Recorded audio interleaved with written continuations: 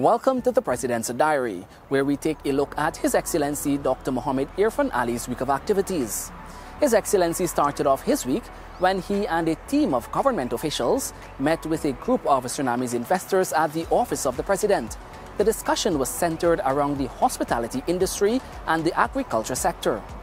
President Ali was joined by senior minister in the office of the President with responsibility for finance, Dr. Ashni Singh, Minister of Agriculture Zulfikar Mustapha, Minister of Tourism, Industry and Commerce Oneidge Walrond, and the head of the Guyana Office for Investment, Dr. Peter Ramsaroop. The discussion was then extended at the highest level between President Ali and the President of Suriname, His Excellency Chandrika Prasad Santokhi.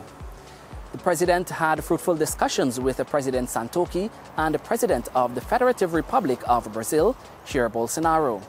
During the working visit in Paramaribo, the heads of state discussed enhancing cooperation in a number of areas, including infrastructure, trade, and energy.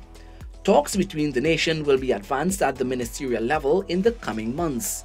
During his visit in Suriname, Dr. Ali also took time out to interact with the diplomatic mission to Suriname, including the ambassador, His Excellency Keith George.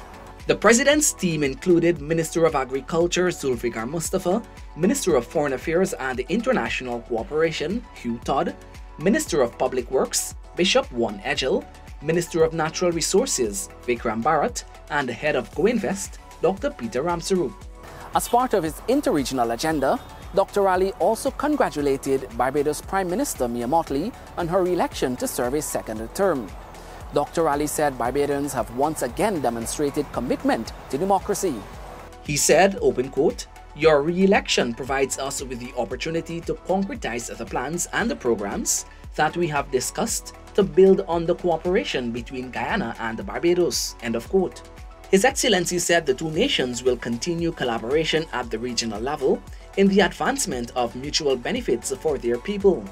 Also, Dr. Ali signed the Book of Condolence at the Private Sector Commission in memory of Dr. Yesu Persaud, who passed away earlier this week.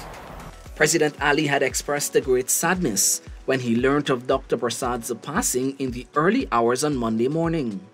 Dr. Ali remembered him as an outstanding soul and a quote unquote true son of the soil. The business giant and philanthropist was 93 years old.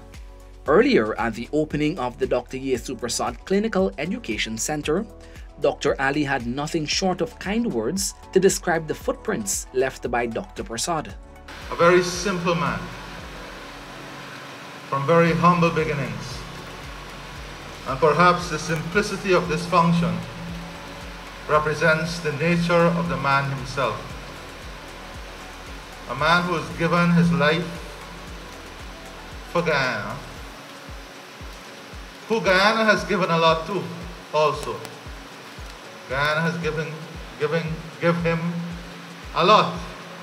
But more importantly, he has given back to Guyana and we owe him a resounding round of applause for this.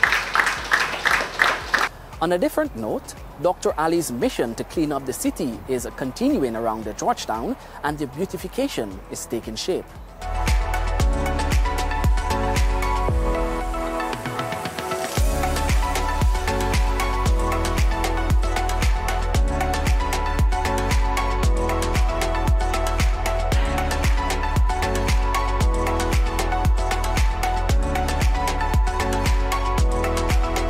And that's it for the President's Diary, where we took a look at His Excellency Dr. Mohammed Irfan Ali's week of activities. Goodbye.